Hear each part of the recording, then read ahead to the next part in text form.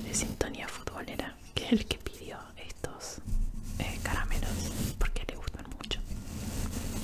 O sea, no los pidió, simplemente dijo su opinión.